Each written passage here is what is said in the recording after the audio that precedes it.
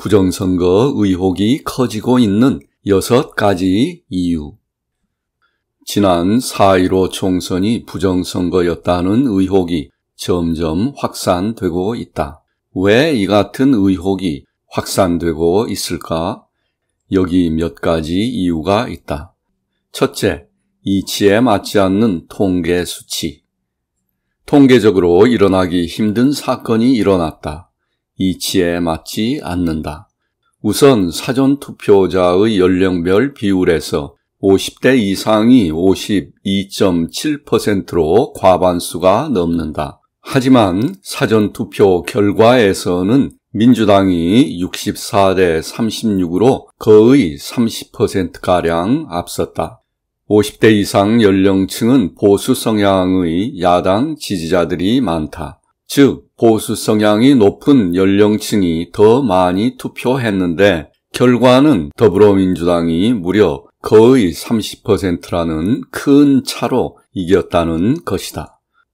또한 사전투표에서 민주당과 통합당의 득표율이 소수점을 떼면 서울, 인천, 경기에서 각각 63대 36, 63대 36, 63대 36으로 동일하게 나왔다는 것이다.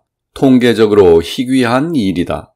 만약 시험을 봤는데 시험 답안이 모두 동일하다면 당연히 시험지가 사전에 유출되었지 않았을까 생각해 보아야 한다. 적어도 교육에 관심이 있는 선생님이라면 그렇게 해야 한다.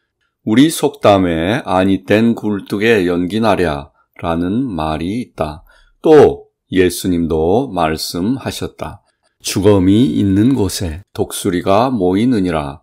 즉, 하늘에 독수리가 빙빙 돌면서 모이면 그 근처 어딘가에 죽은 짐승의 시체가 있다는 뜻이다. 두 번째, 월터 미베인 교수의 fraud 발언.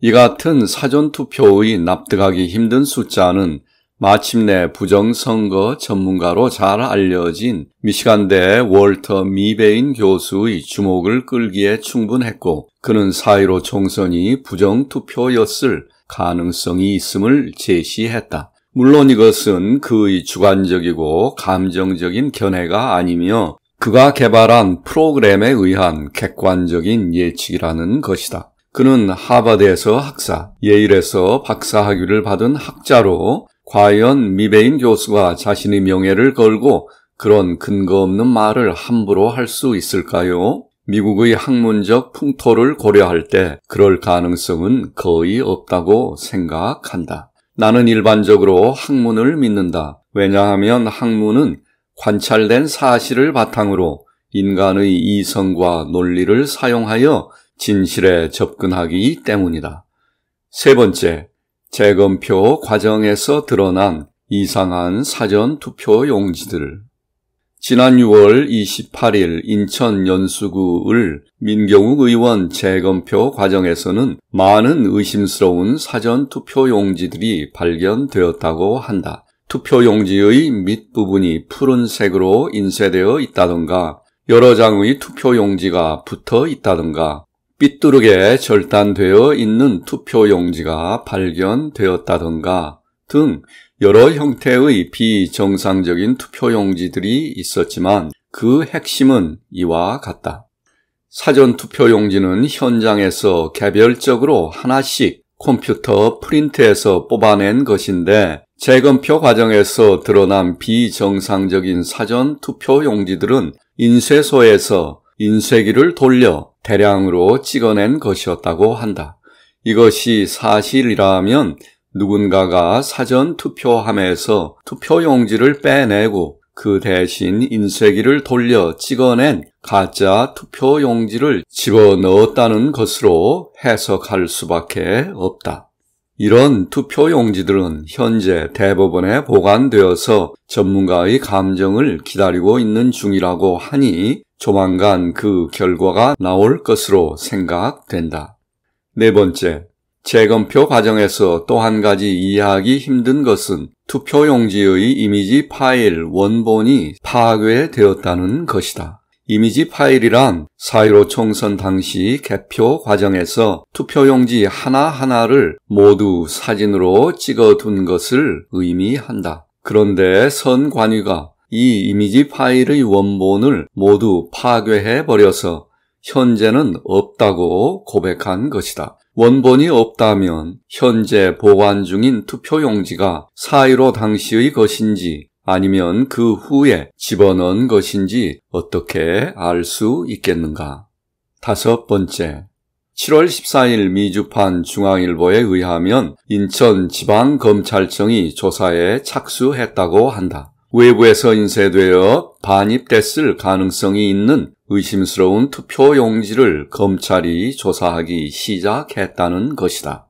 여섯 번째, 7월 21일자 조선일보에 의하면 조혜주 중앙선거관리위원회 상임위원이 임기를 6개월 앞두고 돌연 사의를 표명했다고 한다. 선관위 상임위원은 실질적으로 선거를 총괄하고 선거에 대한 최종적인 책임을 지는 자리로 장관급에 해당한다. 조혜주의 양력을 살펴보면 그는 전라북도 장수에서 출생했다. 검정고시 출신으로 한국방송통신대학교 행정학과를 졸업했다.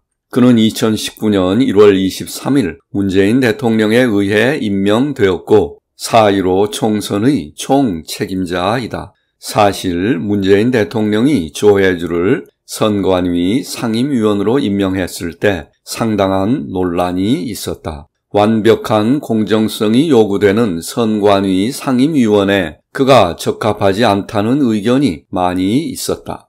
그가 문재인 후보의 대선 캠프에 스태프로 참여했었기 때문이다. 4.15 총선의 부정선거 의혹에 대한 검찰 조사가 시작된 이 시점에 왜 조혜주는 사임하려고 하는 것일까? 투표지 한 장한 한 장에는 투표한 사람의 마음이 담겨 있습니다. 누군가가 당신의 투표지를 빼내 쓰레기통에 버렸다면 그것은 당신의 마음을 쓰레기통에 버린 것입니다.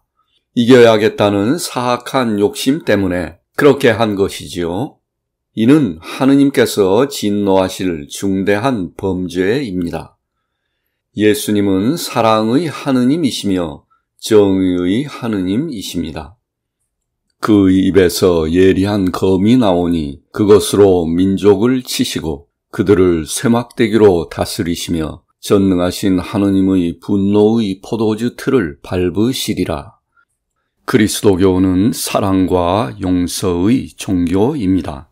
하지만 그것은 그리스도교가 죄와 도덕의 기준이 낮은 종교라는 뜻은 아닙니다. 하느님은 사랑이심으로 죄 짓고 살아도 될까요? 아니면 하느님은 사랑이심으로 죄를 범하지 않도록 노력해야 할까요?